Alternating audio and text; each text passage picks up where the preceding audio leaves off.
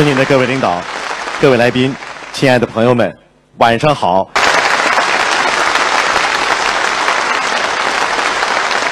深圳速度是世界发展史上的奇迹。二十八年来，在党的三代领导集体的关怀下，深圳从一个贫穷的边陲小镇发展成一个现代化的大都市。深圳人知道，这座城市不仅仅属于自己，更属于全国人民。请听领唱与合唱，《祖国，深圳对你说》。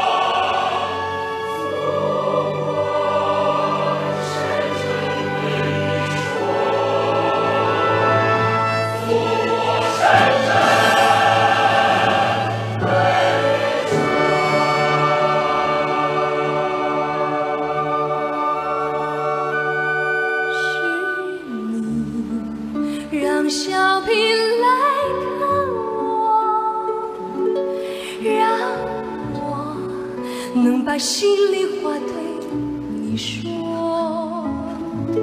是你打开了思想的枷锁，我才用钢铁改变了。